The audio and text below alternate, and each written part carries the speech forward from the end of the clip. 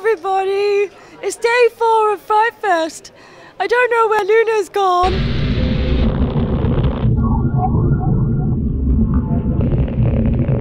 Hey guys, it's day four at FrightFest. Oh my god, I'm so tired. But don't worry, don't worry, I found some help. Say hello to the sock puppet of horror. How did you become attached to the project? And did you know it was reality based from the get go? I'd never heard of Johnny Frank Garrett. It's quite an amazing story. On Halloween, a nun, 76 year old nun called Sister Tadea Benz was murdered and raped in her bedroom in her convent. Um, the police could not find the person who did it, so they ended up arresting after having failed to find anyone. This this young boy called Johnny Frank Garrett, and on the night of his death, he wrote a curse letter, and he basically said, "Whenever you, any one of you die, that will be me." And and so thereafter, um, people in the community of Amarillo mysteriously started dying, um, which is all, all absolutely true. Luna!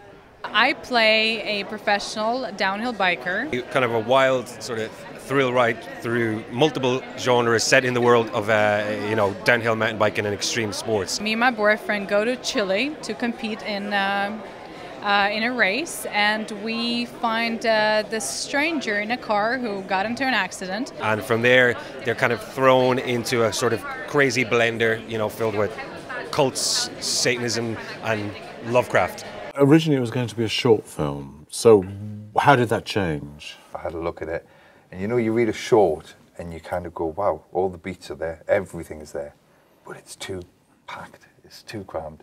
And I said to Sean, you know, it needs to breathe, and why don't we do it as a feature? And he said, uh, oh, yeah, yeah, right, okay. But if you want to do it as a feature, you go find the money and then you produce it. So I did. So tell us a little bit about Let's Be Evil.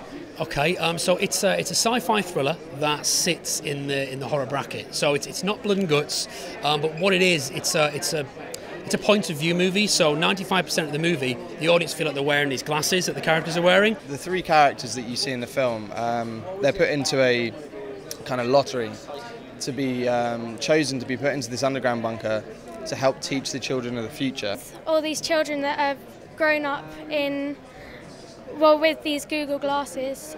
Augmented reality glasses, um, and there's something not quite right about that situation. So it was based on Tim Reese's um, stage play, That's Stone it. Crows. That's it. We've put in this psychological element of him hearing the, the almost religious voices which tell him to do these things, um, albeit that it's Druidal and uh, American culture rather than, say, Christian, you know. What was the biggest challenge making the film? In Inclement weather, we're out in all weathers, we're in a wood for God's sake. We had storms one minute and glorious sunshine the next, and you had lighting difficulties. Technically, Yeah. it was it was a real challenge.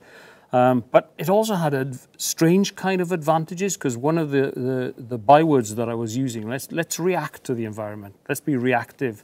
If it rains, let's embrace it and let the rain be part of the scene. And if it suddenly stops raining and the light changes, then we'll embrace that as well because that's nature. And you're here for an extra special reason this weekend, aren't you? Yeah, it's my major comeback. I'm uh, hoping that people over 70 are going to remember that I was once, you know, really famous. And uh, it's great to be back. Well, I'm actually here to support David McGillivray, who's releasing his short films. I think it's next month actually, but they are available here. And it was, I'm also was to see the documentary or mockumentary that goes with it. Uh, we just showed um, Horror Icon, which is an extra on the Worst Fears DVD that we've got coming out September the 5th. Because I'm in it, but I'd completely forgotten all about it. Actually, it was done. yes, it was done about ten years or so ago. I met David, I think, in the late 80s, early 90s, and at that time I was, a, I was a draftsman. And he said, You should be working in the film business. Why don't you get a job working in film? And I said, Well, I don't know anybody. And he encouraged me to write letters to everybody, and I eventually got a job in the film business. So, was there anything that ha- actually happened to you that was even too weird or outrageous to include in the film? Some of them are hysterical. Like I did this meeting and I was desperately trying to pitch my film. Like, you know, because I was speaking to one of the top people and I was trying to pitch my film.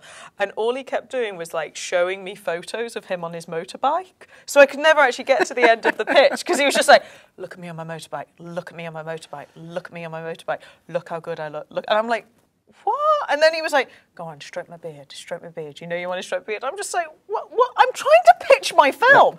And now he keeps sending me emails being like, oh, I'd really love to hear about your film. I'd love to hear about everything in your film. And I'm like, well, you could have if you hadn't been sharing your midlife crisis with me.